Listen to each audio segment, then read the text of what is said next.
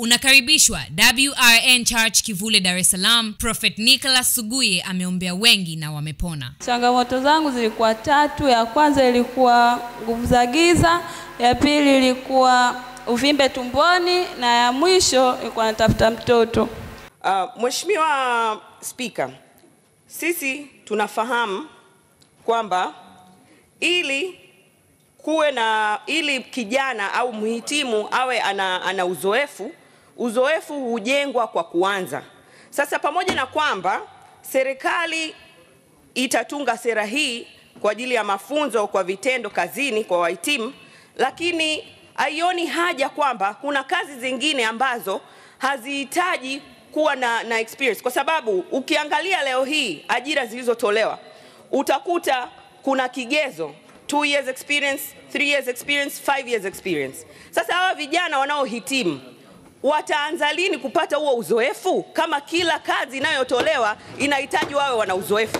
Sasa pamoja na kwamba serikali ita, itatunga sera hii ambayo itaweza kusaidia kutoa hilo ku, ku, kuondoa hilo umbwe kati ya, ya, ya elimu waliopata wahitimu pamoja na mahitaji ya soko la ajira, lakini haioni haja, serikali haioni haja kwamba kuna kazi zingine ambazo hazihitaji huo uzoefu na vijana waweze kupata fursa ya kuajiriwa ili na wenyewe waweze kujikwamua na changamoto ya kukosa ajira.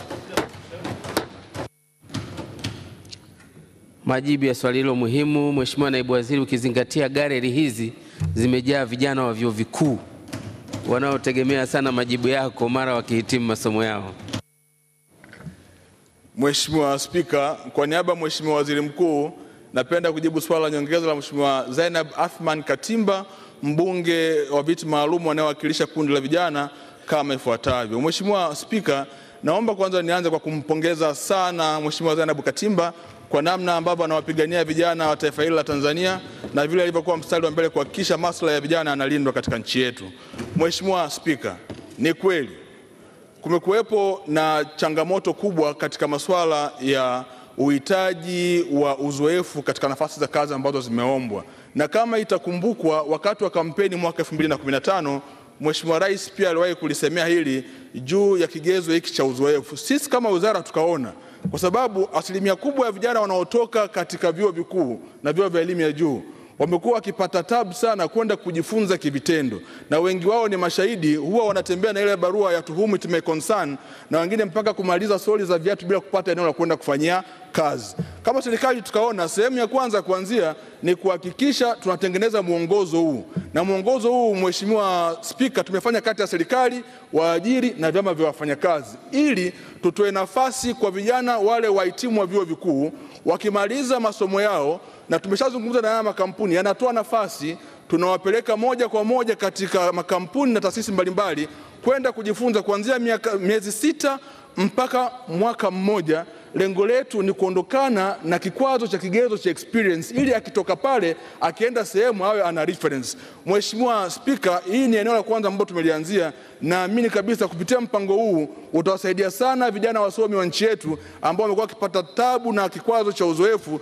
Kwa hivi sasa atapata nafasi ya kujifunza katika kampuni kwa muda huo wa mwaka mmoja, na baadaye tutampatia cheti cha kumtambua ili kama reference yake katika sehemu inayofuata.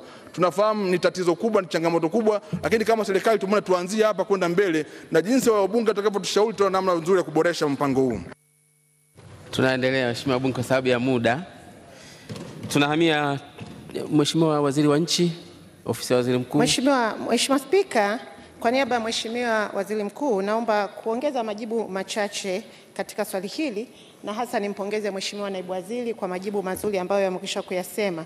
Mheshimiwa Spika, baada ya serikali kuona tatizo hilo, Mheshimiwa Naibu Waziri amesema tumeshatengeneza hiyo miongozo, lakini tunafikiri sasa kazi yetu kubwa ambayo tumeanza kuifanya ndani ya ofisi ya Waziri Mkuu ni kujilinki sisi ofisi ya Waziri Mkuu na miongozo tulionayo na wenzetu wa Wizara ya Elimu, lakini kupitia vyuo vikuu vyote kuhakikisha kwamba tunatambua mahitaji na tunawasaidia hawa vijana kuwaandaa vizuri ili waingie kwenye soko la ajira.